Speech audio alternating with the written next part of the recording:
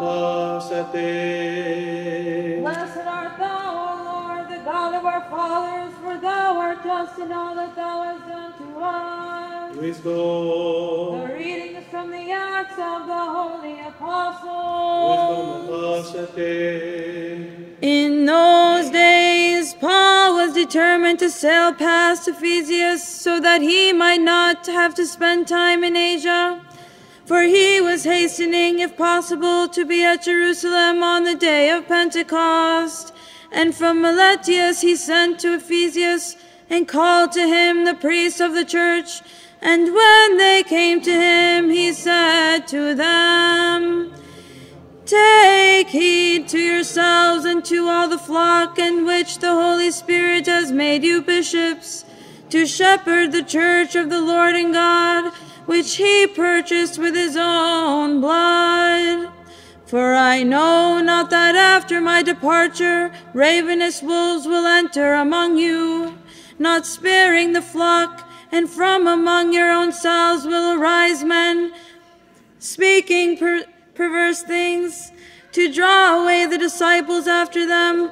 Therefore remain watchful, remembering that for three years I did not cease to admonish everyone, night and day with tears.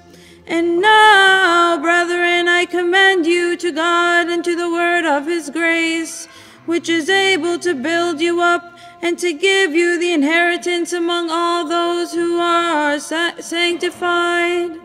I coveted no one's silver or gold or apparel. You yourselves know that these hands ministered to my necessities and to those who were with me. In all things I have shown you that by such laboring we ought to help the weak and to remember the words of the Lord Jesus, how he himself said, It is more blessed to give than to receive. And when he had spoken thus, he knelt down on his knees with all of them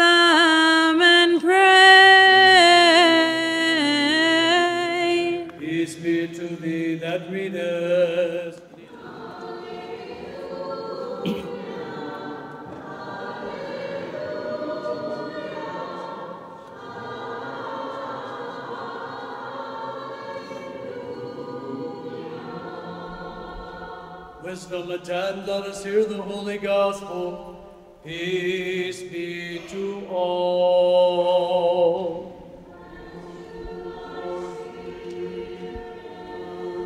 The reading from the Holy Gospel according to St. John.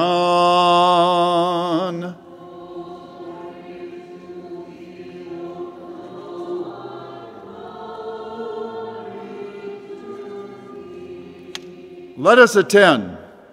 At that time, Jesus lifted up his eyes to heaven and said, Father, the hour has come. Glorify thy Son, that thy Son may glorify thee.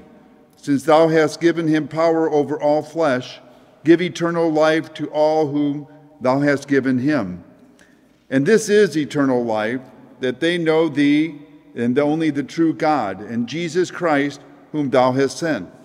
I glorified thee on earth, having accomplished the work which you gavest me to do. And now, Father, glorify thou me with thy own self, with the glory which I have with thee before all worlds.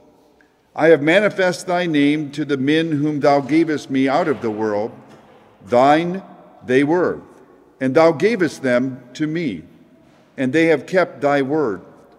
Now they know that everything that thou hast given me is from thee, for I have given them the words which thou gavest me.